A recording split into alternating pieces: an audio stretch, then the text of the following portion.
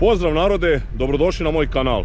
Za one koji ne znaju, ja sam Radoslav i u današnjem videoklipu konačno vidjet ćete e, predsetvenu pripremu u proleće 2023. za setvu suncokreta i kukuruza.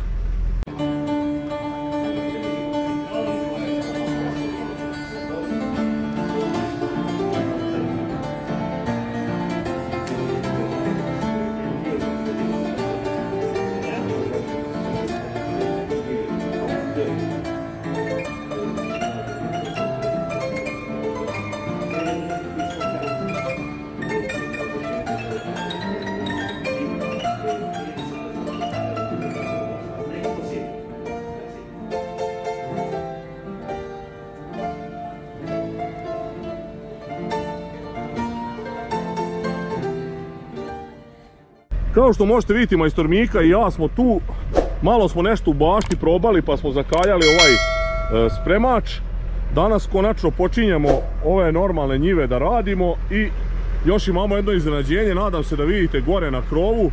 Postavljena nam je FJ Dynamics navigacija nove generacije, znači sa jednom antenom, tako da ćemo danas odmah pokazati i rad ove nove navigacije na traktoru to jest spremiranje sa navigacijom. Znači, sada ćemo pokazati kako se postavljaju AB linije. Kao što možete vidjeti, postavili smo spremač u radni položaj na granicu. Znači, ne postavljamo AB liniju na sredinu traktora kako bi inače trebalo, zato da ne gazimo komšiji žito, nego ćemo postaviti ovako, pošto svejedno možemo da pomerimo AB liniju. Uglavnom, poznato vam je da je priprema jedna od najvažnijih operacija koja teško može da se popravi. E, ja ako pratite moje klipove znate da ja radim samo jednom pripremu, ne radim zatvaranje brazde. To je malo problematično zato što mora dobro da se uradi, ali zbog, zbog uštede na gorivu pokušat ćemo e, da iz jednog prohoda pripremimo. Ove godine smo, ako ste pratili, izduvali gume, skinuli tegove, tako da trebalo bi da traktor malo tone. Evo, kao što vidite ovdje na vratina već se vidi da samo tone do dubine ripni, tako da mislim da će to biti jako dobro. Evo, vidite ovdje, Znači mnogo, mnogo manje tone traktor nego ranije, iako nismo još izduvali gume koliko bi trebalo. Uglavnom krećemo, postavljat ćemo AB linije, pokazat ću vam kako radi ova navigacija i počinjemo.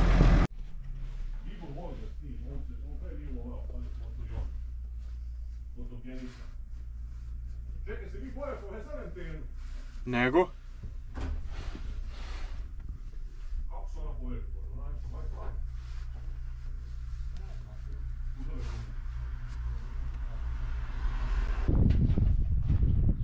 Šta merimo? Sredine do sredine? Sredine, sredine. Ovdje možete vidjeti majstore kako montiraju ovu navigaciju FJ Dynamics i Mika i ja bili smo nestrpljivi da isprobamo navigaciju.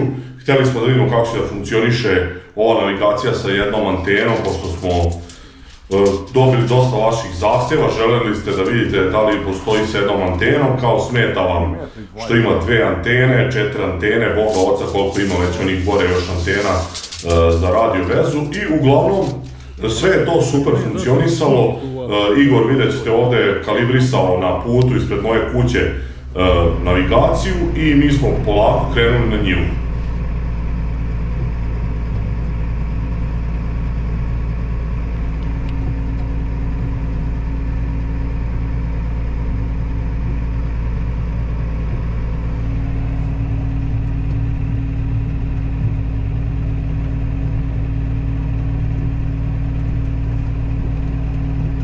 To. Je to gotovo, predacija.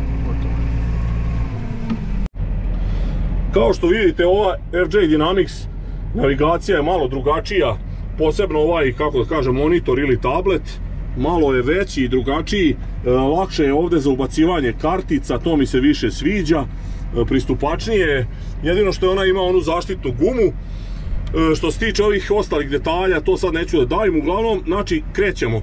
Ja sam već ovdje postavio one osnovne naziv polja i to da vas ne davim, to ako ste gledali u mojim klipovima, e, to je sve isto kao ranije. I ostalo nam je da postavimo AB liniju. Naravno, birate da li ćete da radite graničnu liniju, zakretanje, krivu liniju, A plus liniju ili pravu liniju. Mi ćemo postaviti pravu liniju i ovo nam je dovoljno za tačku A. Time krećemo dalje.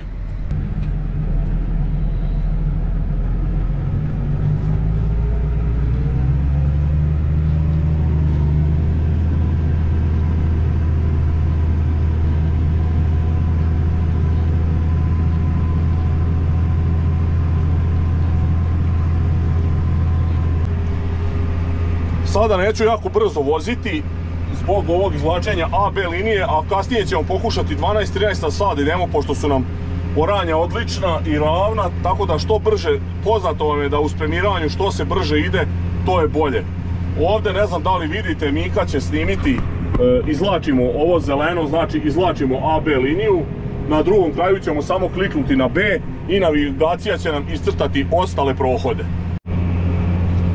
Evo, približavamo se drugom kraju njive. Ova njiva nije nešto dugačka, oko 330 metara, takva nam treba za ovo podešavanje. I pri kraju, kao što vidite, sad smo tamo na nultoj tački razor mi koji si snimio.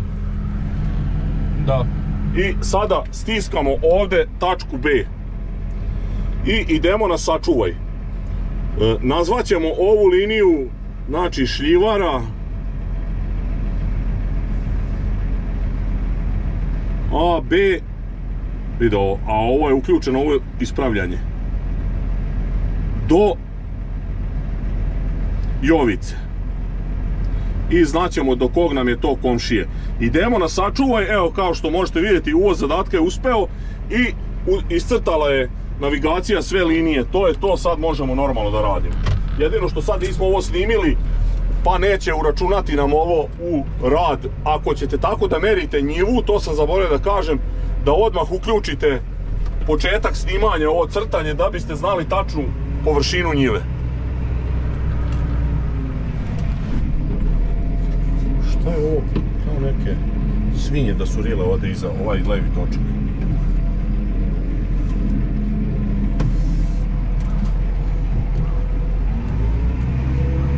Gledaj, tamo poklapa dobro.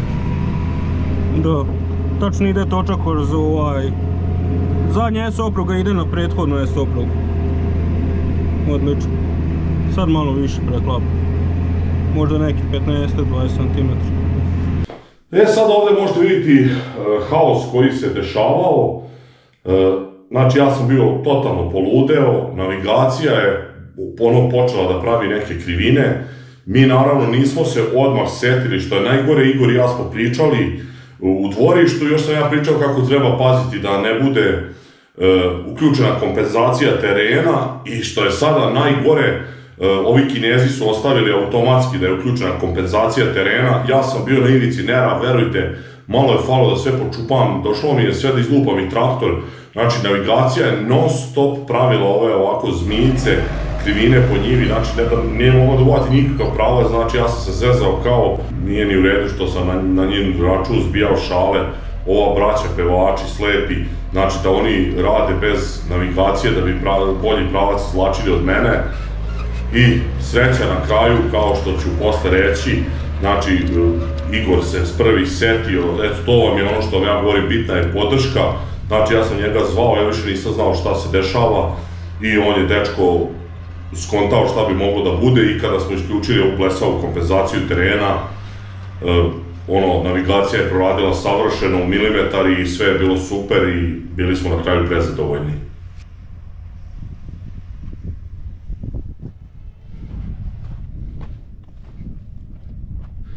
Ovdje sada možete vidjeti na traktoru, na krovu, tu jednu antenu samo, znači na ovoj, e, kako da kažem, novoj verziji FJ Dynamics navigacije. Nažalost, kao što ćete sada vidjeti u ovim snimcima, nama je trebalo jedno 2,5 hektara da rešimo šta je problem, zašto krivuda navigacija, tako da nismo, ovaj, nisam mogao da stajem, nisam imao vremena, svesni ste da je tek početak sezone, to jest sezona je u jeku i nisam imao mnogo vremena, pokušavao sam u hodu da ispravljam probleme i znači trebalo nam jedno pola sata da rešimo šta je problem, to jest dok Igor nije shvatio za tu kompenzaciju terena.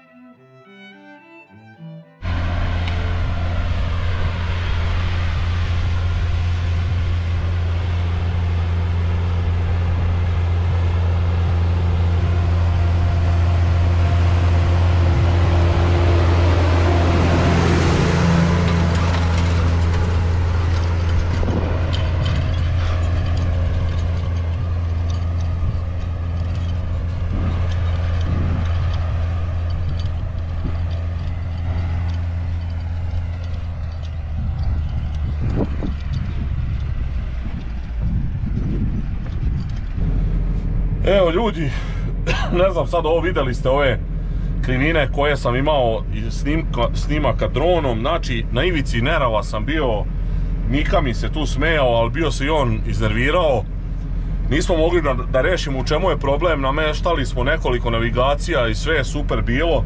Međutim ovdje je, pošto je ovo nova navigacija i drugačiji softver, ovi blesavi kinezi e, napravili su problem sa, kako se zove ono, kompenzacijom terena.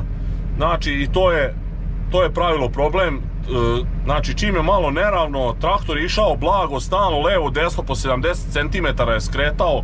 Ja sam bio na ivici nerava, na kraju je ovaj dečko koji postavlja navigacije, on je prvi skontao u čemu je problem i rekao nam tako da smo mi sad ovaj konačno namestili i navigacija sad radi super.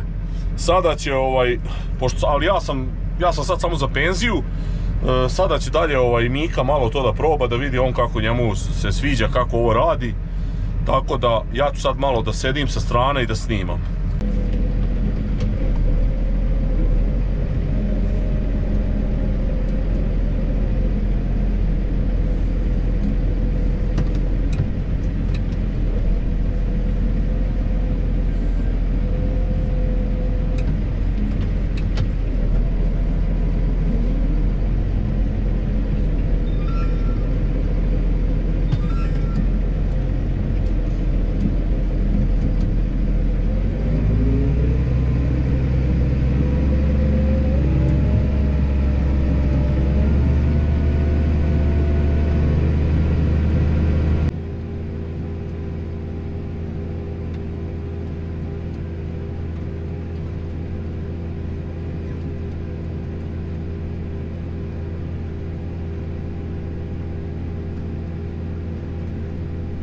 E, evo sada vidite, kada sve radi savršeno, sve prednosti FJ Dynamics navigacije, znači ono što sam pričao, M, savršena preciznost, savršeno uklapanje redova, zatim maksimalna ušteda, nema gubljenja vremena, nema preklapanja, nema ponovnog bez veze prelaza, znači tačno sve preračunato, a kao što vidite, Mika on skoro ništa tu ne radi, sedi i malo prati šta se dešava, znači maksimalan odmor, to jest minimalan zamor rukovaoca mašinom zahvaljujući autopilotu i navigaciji FJ Dynamics.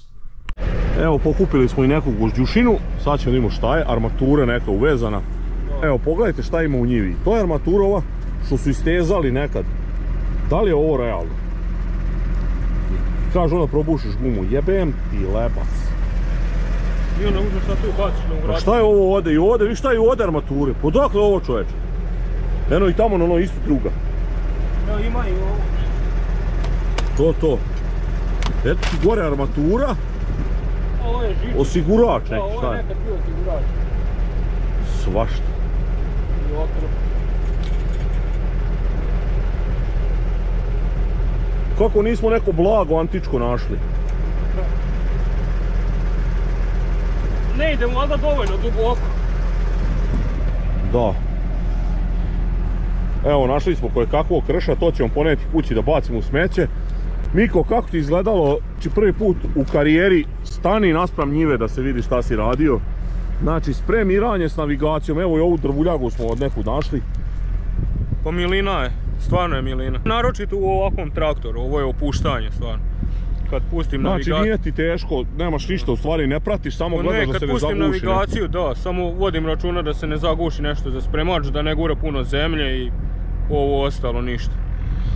E, šta misliš, da li ćemo napraviti uštede sa ovim što ovaj, što nema preklapanja, što idemo malte ne u santimetar, vidjet ćeš u snimku, Pa ja mislim da hoćemo ovako, kad bi tero bez navigacije, teško da bi baš mogao tako da, da, da ispratim. Morao bi non stop da držim koncentraciju, da budem na oprezu, moram da budem nagnut da bi mogao da vidim stranu spremača. Ovako, pusti se spremač i više ništa ne razmišljaš. Kad pustim navigaciju autopilota. Ovo ostalo je sve isto kao što smo koristili ranije na FJ Dynamics, znači to je kao jesenas što si seo, znači nema nikakve razlike, samo što je veći zahvat. Da, potpuno, pa da, navigacija što se tiče potpuno je ista, i podešavanje i sve AB linije, izvlačenje, potpuno je sve isto. Ok, Miku, hvala. Evo, čuli ste Miku, vidite kako izgleda zemlja poslije jednog prohoda, to je super, ja sam prezadovoljan, možda bi trebalo još malo pliće ići, ali e, problem nam je sad više zbog ovih uvratina, kao što vidite to onda nije baš e, savršeno urađeno, zato što ne može, ne može svaki čas da podešavam e, spremač. Što se same navigacije tiče, eto to sam sad na vaš zahtev, znači što vas je zanimalo, kukali ste što ima ova navigacija sa dve antene, sad smo namestili navigaciju RJ Dynamics sa jednom antenom, znači tu je gore i taj žiroskop se nalazi u anteni. E, posle one sekiracije zbog one gluposti koja je ostala uključena, e, gdje sam se nervirao, na kraju sam prezadovoljan kako je ovo sve radilo. E, također, hteo, hteo bih da vam kažem, znači ova navigacija čak ima i ISO bus koji radi, znači u nekoj budućnosti kada verovatno već od jeseni će moći da se isproba, za sad je testirana na sejalicama, e, ako bude se pokazalo dobro na prskalicama, to će također biti, kako da kažem, e, naglašavat će se da postoji mogućnost rada sa ISO busom. Toliko za ovaj prvi dan pripreme, uspeli smo da uradimo nešto, E, Hvala vam na gledanju. Ako do sad niste ako do sad niste zapratili moj kanal, zapratite. Ostavljajte lajkove, komentare. Vidimo se u sljedećem e, snimku. Majstor Mika i ja vas pozdravljamo. Pozdrav. Pozdrav.